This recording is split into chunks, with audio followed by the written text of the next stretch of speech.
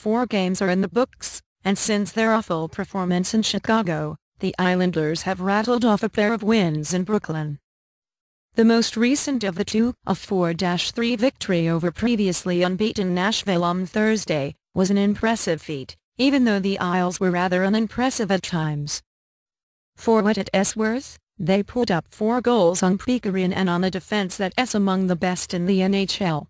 John Tavares made Shea Weber and Roman Josi look like pylons on several shifts, and recorded his fifth and sixth points of the season, one goal, one assist. Side note, Coach, you have last change at home is there a reason Tavares was always out there against Nashville's best defense pairing? Jack Capuano wants to see more of his forwards get involved in the goal-scoring department and, slowly but surely, his wish is being fulfilled. The secondary scoring is gonna have to pick up, Capuano said. We were starting to see it pick up a little bit now. We were gonna have to get our defense actively involved. If you're gonna have success in this league, you can't rely on one guy or one line. It's just not gonna happen. You need all four lines generating, and you're gonna have to get points from your back end. Capuano is not the only one who'd like to see more secondary scoring. Fans have been clamoring for the team to go out and acquire another winger for months, though in this writer's opinion it would just be gravy and is otherwise an unnecessary move at this juncture. With the exception of a 4-1 loss in the Windy City, the Isles' top line of Tavares, Anders Lee and Ryan Strome has been flying out there, so the points will come. Maybe you see Kyle Okposo and Strome trade places or something to that effect but the bottom line is that there are plenty of quality options for Tavares as far as wingers are concerned. Even still, the Islanders go as Tavares goes, just as most teams do with their superstars. But I think these lines just need time to gel and you could certainly see that happening on Thursday night. The second line, Frans Nielsen, Josh Bailey and Okposo, still needs more time, but Okposo did notch his first goal of the season darting into the Nashville zone, and letting go a confident wrist shot that went bar down and past one of the best goalies in the world. I was particularly impressed with the trio of Mikhail Grabovski, Nikolai Kulemin and Brock Nelson and thought they got better as the game wore on. They've combined for seven points through the first four games, and the Islanders will need them to continue providing that type of support. I asked Capuano for his impression of Grabovski, who was moved back to center in training camp. There's still some things he has to get better with, the coach said. But overall, he has been pretty good for us and he has been really good for us in the face-off circle.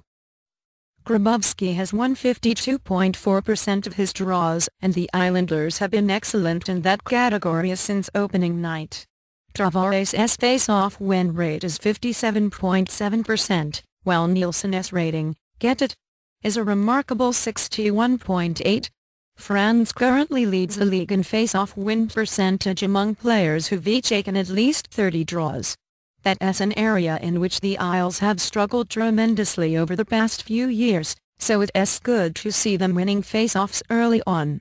Obviously, the key is to keep that trend going. Another thing I noticed on Thursday night was that the Islanders appeared to be using the terrain and characteristics of their home rink to their advantage. The boards at Barclays Center generate some unique arms, and it looked to me like Nelson purposely missed the net with his shot so that the rebound would pinball right into the slot for a wide-open Kulemin.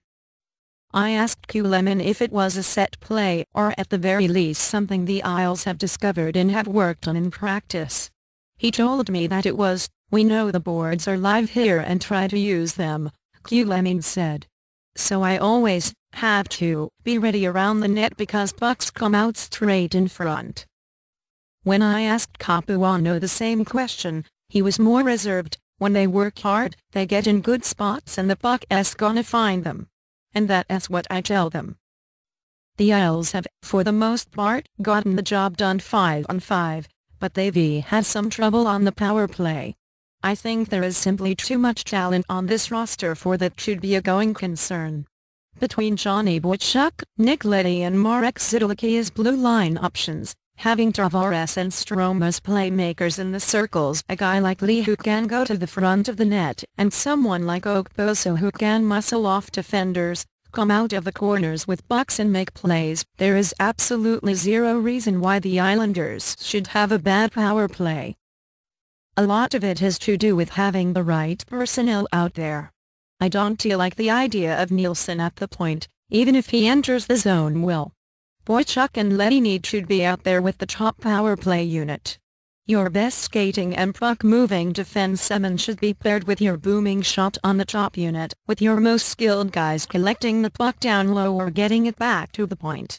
That hasn't always happened, so to me that is a big part of why they've had trouble finishing with the man advantage. It's about having the right mix of players on the ice together. I think the power play units need should be redesigned to some extent, but I don't think the solution is all that difficult to implement either. Even still, the Isles should at least be more effective than they've been on the power play. I think it has more to do with a lack of finish than an inability to enter the zone. They've got guys who can gain the zone. I also thought Nashville and Chicago both did a great job taking away entry lanes and clogging passing and shooting lanes. It also looked to me like guys were trying to feel it out the first few opportunities they had during those first two games. That plays a part here, too. Against Winnipeg you saw more flow in the offensive zone when the Islanders had the man advantage. As I said, I don't think this is going to be a persistent issue, and I think it's just a matter of fine-tuning and getting the right players in the right spots. The more the Isles win the more tightened the focus becomes on hockey. Given recent events, that really needs to happen. As long as the puck is going in the net fans can cheer about that.